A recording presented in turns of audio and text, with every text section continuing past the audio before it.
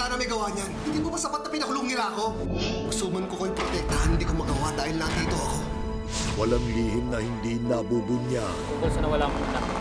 Buhay ang anak mo. At ngayong lunes, Ito na DNA results. Dahil lang sa mga nilalaman nito, maraming masasaktan, maraming magbabago. Handa na akong malaman kung sino ang tunay kong apo. Villa Quintana, pagkatapos ng Itbulaga,